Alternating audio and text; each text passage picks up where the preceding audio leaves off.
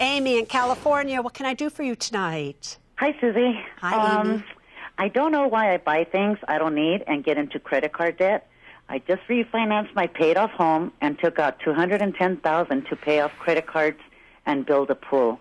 I don't even use the pool. I'm doing it again and I'm up to $20,000 in credit card debt. I don't know how to stop. What's the best way of getting out of this? Amy, why do you think you shop? Right before you get in the car, right before you go to spend money, what is it that you think? What are you saying to yourself? Nothing really. I'll go into the store, you know, for one thing and I see something I like and I just buy it. And Amy, are you do you live alone? No, I live with uh, my husband, but he's retired. And- and this this bill is just mine. Is yours. And so does he even know about it? Yes, he does. He does. What does he say? Well, he's upset. I mean, he knows about the two hundred and ten thousand, but he doesn't know about the new twenty thousand. And he just lets it happen and he doesn't put down his foot. He loves you no matter what. Kind of.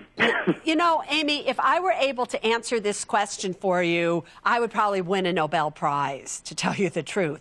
I don't know what causes people to do things that they know are not good for them. I don't understand why people smoke when they know if they smoke they're going to get cancer most likely. Why do they drink or do drugs to excess when they know that it's going to hurt them? Why do you spend money that you don't have to just buy something that you don't even use. What I do know is we always spend more than when we feel less than. When we feel empty, we try to fill ourselves up with either drugs, alcohol, or things that we buy.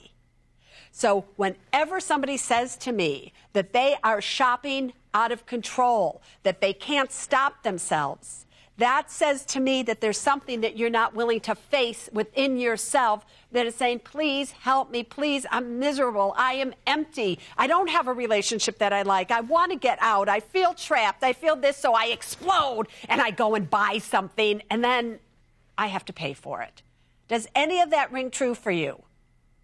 I think so. Which one? you- Which thing? Which when you say you think, I think so? everything that you said, everything hit it in the nose. Except I don't know why I feel.